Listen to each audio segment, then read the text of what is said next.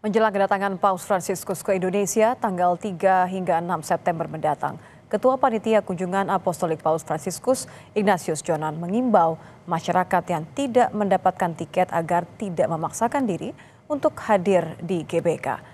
Jonan juga berterima kasih atas dukungan pemerintah Provinsi Jakarta yang memberikan imbauan kepada perkantoran di Jakarta untuk melaksanakan work from home atau kerja dari rumah tanggal 5 September 2024.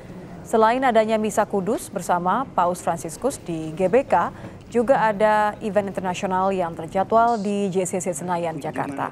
Jonan juga mengimbau masyarakat yang tidak memiliki tiket untuk tidak memaksakan hadir ke GBK dan mengikuti misa melalui televisi di rumah.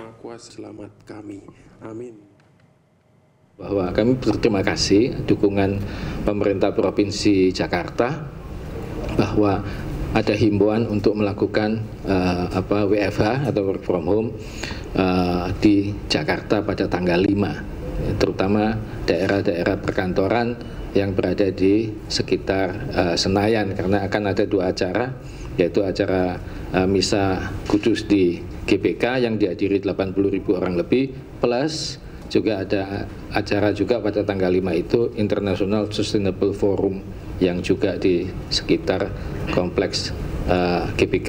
Begini, tetap saran saya itu uh, sebaiknya mengikuti misa live streaming di gereja masing-masing atau nonton televisi di rumah gitu. Jadi ini penting. Terus pertanyaan lagi begini, kalau ada yang datang bagaimana gitu ya?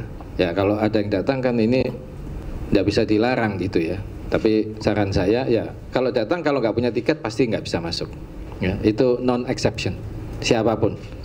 Jadi kalau nggak ada ya sudah nggak masuk gitu.